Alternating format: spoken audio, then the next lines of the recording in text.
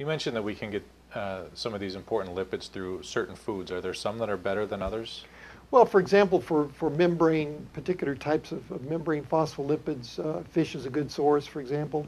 But the problem with this fish, for example, as a source is fish can go rancid very quickly, and those lipids can get oxidized very quickly. So depending upon the source, uh, the lipids uh, can last a variety of, of different times before they're damaged.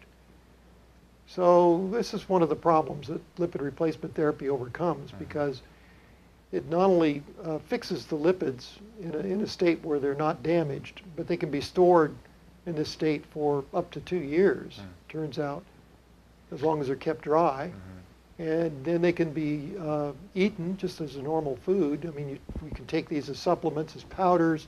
They can be put into other foods, uh, nutritional bars, cereals, anything, and then provide the, the lipid uh, requirements that you need to replace those damaged lipids uh, in your cells and your mitochondria.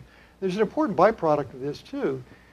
People that have uh, damage, for example, nerve membrane, membranes, uh, like in fibromyalgia syndrome, for example, uh, this helps uh, restore those nerve membranes as well, the cell membranes around the nerve, by replacement of the natural lipids.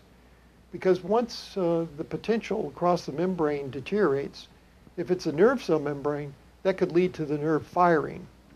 And it could lead it to it firing all the time. And that's what happens with fibromyalgia. You have pain all the time, and, or you know, pain to pressure Mhm. causes severe pain.